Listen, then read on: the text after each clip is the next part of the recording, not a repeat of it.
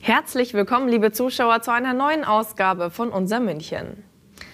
Im Tierpark Hellerbrunn laufen die Vorbereitungen auf Hochtouren. Am 24. Februar steigt dort eine Riesenparty. Das neue Eisbärenbaby wird vorgestellt. Das Mädchen wächst und gedeiht schon prächtig und anlässlich dieses knuddeligen Neuzugangs wird es dazu auch einen neuen Eisbärenparcours in Hellerbrunn geben. Das und noch mehr jetzt in unseren Tierpark-News. Einfach faszinierend, wie die beiden harmonieren. Zu sehen im Livestream aus der Eisbären-Wurfbox im Hellerbrunner Artenschutzzentrum. Seit dem ersten Tag kümmert sich Mama Giovanna routiniert und liebevoll um ihren bereits dritten Nachwuchs. Und die Münchner haben das Mädchen schon jetzt in ihr Herz geschlossen. Am Freitag, den 24. Februar, ist es endlich soweit. Dann darf das neue Eisbärenbaby raus auf die Anlage. Und die Besucher dürfen es zum ersten Mal live im Freien bestaunen.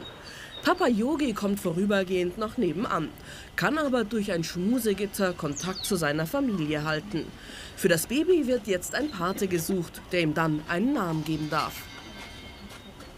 Es geht ihr sehr, sehr gut. Sie ist sehr munter, ähm, wiegt propere 8,4 Kilo gestern, also ähm, fast doppelt so schwer wie die ähm, Zwillinge zum gleichen Zeitpunkt. Klar, als Einzelkind hat sie natürlich noch ein bisschen mehr Milch von der Mama zur Verfügung. Also es geht ihr wohl rundum gut und wohl und äh, sie ist auch mittlerweile sehr aktiv. Man kann das auf dem Livestream immer sehr schön sehen, wenn sie dann auch ähm, ja, über die Mama klettert oder der Mama auch mal an den äh, Pfoten rumnagt oder so, ähm, wenn Mama eigentlich schlafen will, aber die Kleine eben nicht. Nach den Zwillingen Nobby und Nela steht dem Tierpark nun ein neuer Ansturm bevor. Auch im Zooshop beginnt man sich zu rüsten. Die Merchandising-Maschine ist angelaufen. Die schöne Hellerbrunn-Tasse mit dem Eisbär drauf, das ist äh, unser beliebtestes Stück. Dann wird es ähm, Magnete geben, dann wird es Schlüsselanhänger geben. Eine ähm, Trinkflasche ist geplant, ähm, Pins sind geplant, ein Babystrampler ist geplant, äh, Flaschenöffner. Noch heute erinnert man sich hier an den Boom mit den Zwillingen. Einzigartig in der Münchner Zoo-Geschichte. Ja, wir haben so viel gearbeitet wie vorher nie. Wir machen das Ganze seit 26 Jahren. Es war der Wahnsinn schlechthin, aber wir sind auf den Wahnsinn vorbereitet und wir freuen uns drauf.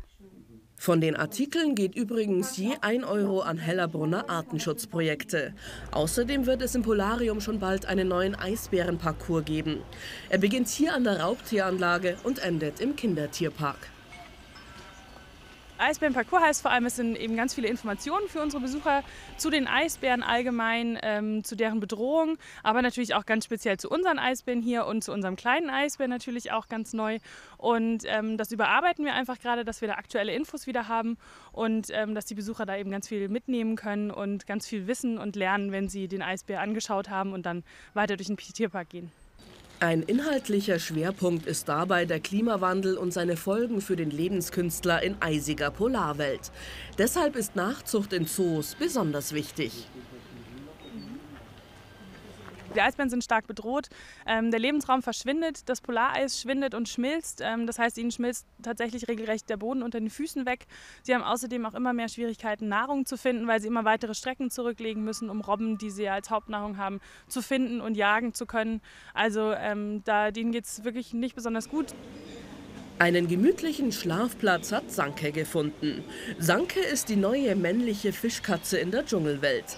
Er wird ab sofort dem Weibchen Luzi Gesellschaft leisten. Der natürliche Lebensraum von Fischkatzen ist Südostasien. Im Gegensatz zu den meisten anderen Katzen gehen sie gerne ins Wasser, um dort Fische zu jagen. Und sie mögen es warm. In der Dschungelwelt, wo die beiden Prachtexemplare zu sehen sind, hat es immer angenehme 25 Grad. Gleich daneben Kindererziehung Marke Orang-Utan. Äußerst fürsorglich kümmert sich Mama Matra nicht nur um ihren eigenen Nachwuchs, sondern auch um das Baby von Orang-Utan-Weibchen Jahe, die in puncto Aufzucht noch reichlich unerfahren ist. Kein Wunder, dass das Affenparadies in diesen Tagen besonders gut besucht ist. Matra, das sieht man ganz deutlich, hat die doppelte Kindererziehung gut im Griff. Für viele ist die närrische auch eine alkoholische Zeit. Mehr als sonst ist es daher wichtig, auch ausreichend Wasser zu trinken. Das gute Münchner Trinkwasser. Quellfrisch, kalorienfrei und mit dem perfekten Mix aus Mineralien und Spurenelementen. Warum es so gut ist, wir werden es Ihnen verraten. Das Münchner Trinkwasser kann man direkt aus dem Wasserhahn genießen. Es ist das am besten kontrollierte Lebensmittel. Die regelmäßigen Analysen belegen, M-Wasser hält die strengen Grenzwerte der Trinkwasserverordnung nicht nur ein, es unterschreitet sie sogar deutlich. Die herausragende Wasserqualität sichern die SWM mit einem umfangreichen Schutzprogramm. Mit jährlichen Millionenbeträgen halten sie die Leitungen des Versorgungsnetzes instand und modernisieren sie. Eine weitere zentrale Maßnahme der SWM ist die bodenschonende Pflege großer Flächen rund um die Gewinnungsanlagen. Hier wird nicht gedüngt und nur ein bis zweimal im Jahr gemäht. Deshalb konnte sich im Mangfalltal eine beeindruckende Flora entwickeln. Die SWM-Grundstücke im Einzugsbereich der Gewinnungsanlagen werden ausschließlich umweltfreundlich und wasserschonend bewirtschaftet. Mit der seinerzeit einzigartigen Initiative Ökobauern fördern die SWM seit 1992 den ökologischen Landbau im Mangfalltal. Inzwischen haben 165 Landwirte ihre Betriebe auf boden- und gewässerschonende Landwirtschaft sowie artgerechte Tierhaltung umgestellt. Gemeinsam bewirtschaften sie eine Fläche von rund 3900 Hektar, eines der größten zusammenhängend ökologisch bewirtschafteten Gebiete in Deutschland. Das hat eine hervorragende Schutzwirkung auf das Grundwasser und auf die Lebensmittel. Das SWM Forstwirtschaftsprogramm schützt das Münchner Trinkwasser. Seit mehr als 60 Jahren betreibt die städtische Forstverwaltung im Auftrag der SWM naturgemäße Waldpflege. Sie hat im Laufe der Jahre aus einer Monofichtenkultur auf 1800 Hektar einen gesunden Mischwald aufgebaut. Perfekt. Ein bisschen, ja? Mit Münchner Trinkwasser tut man sich und seinem Körper etwas Gutes. Wasser trinken ist gesund. Damit junge Münchnerinnen und Münchner das von Anfang an lernen, haben die SWM schon 72 Münchner Schulen mit M-Wasserbars ausgestattet. Das trägt wesentlich zu einer gesunden und kalorienbewussten Ernährung bei. Vor kurzem wurde das Projekt ausgeweitet. Auch zehn Vereine der Münchner Sportjugend haben die modernen Schankanlagen erhalten. Die SWM als kommunales Unternehmen nehmen ihre ökologische und soziale Verantwortung also ernst.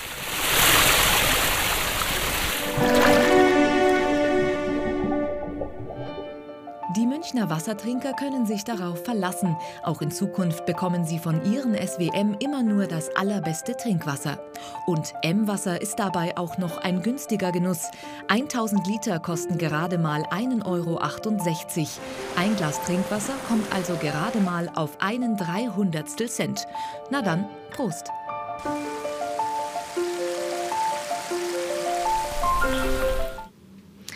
Und bei uns, liebe Zuschauer, geht es jetzt weiter mit unserer Rubrik Veranstaltungen. Das Wichtigste aus den städtischen Kultur-, Sport- und Freizeitstätten zusammengefasst für Sie im Überblick. Auch nochmal nachlesen. 50 Jahre Olympia-Eisstadion. Am kommenden Sonntag wird kräftig gefeiert. Eine Arena mit bewegter Geschichte. Am 12. Februar 1967 wurde die Eishalle mit dem Eishockeyspiel FC Bayern gegen den SC Rissersee feierlich eingeweiht in einem damals spektakulären Bau, einem der modernsten Stadien in Westeuropa. Seitdem gab es hier viele bedeutsame Ereignisse. Ja, mir gehen so ein bisschen die letzten Jahre durch den Kopf, in denen, seitdem ich ja auch im Olympiapark bin, seit 2010.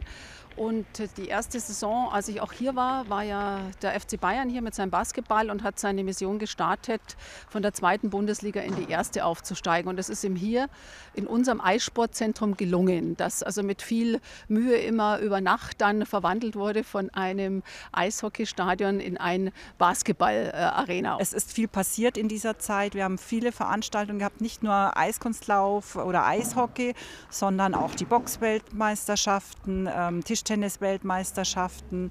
Wir haben Rollstuhl-Hockey-Weltmeisterschaften gehabt, kirchliche Veranstaltungen, die Munich Mesh mit Skateboard-Events werden wir auch dieses Jahr wieder haben. Also es ist viel geschehen in diesem Stadion. Auch ein legendäres Popfestival 1970 mit Deep Purple, Free und Black Sabbath. Am Sonntag, den 12. Februar, steigt die bunte Jubiläumsfete. Von 10 bis 22 Uhr können die Besucher kostenlos Eis laufen. Außerdem gibt es um 16.30 Uhr eine Backstage-Tour durchs Stadion, die Katakomben und die Kabinen der Arena, ebenfalls bei freiem Eintritt. Präsentiert werden darüber hinaus die Eismaschinen und der Maschinenraum. Es wird eine Menge los sein. Wie gesagt, 50 Jahre hat man nicht äh, alle Tage. Wir werden hier draußen äh, öffentlichen Eislauf anbieten. Auch in der Halle wird öffentlicher Eislauf angeboten. Wir werden draußen hier so ein bisschen äh, Action machen. Wir haben eine alte Eisbereitungsmaschine, die wir aufstellen. Ein paar Vor Vorführungen sind. Da ist ein Showtraining. Dann haben wir noch ein Nachwuchsspiel, wo man zuschauen kann von der Tribüne. Und am Abend haben wir noch eine Eisdisco von Radio Arabella. Da wird hoffentlich auch viel los sein. Und so werden wir den Abend dann abends um 22 Uhr beenden und uns auf das nächste Jubiläum vorbereiten. Happy Birthday Olympia Eishalle am Sonntag, den 12. Februar von 10 bis 22 Uhr.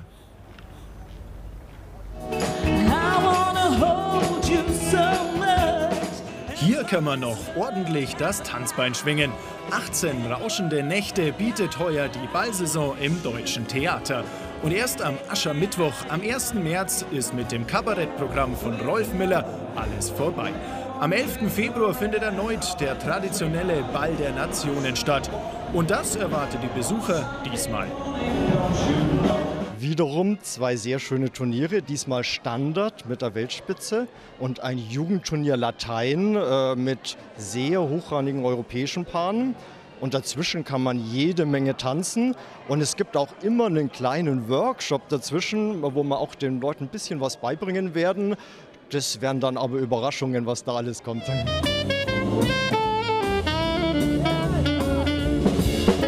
Die Ballsaison 2017 im Deutschen Theater. Der Kehraus ist am Faschingsdienstag.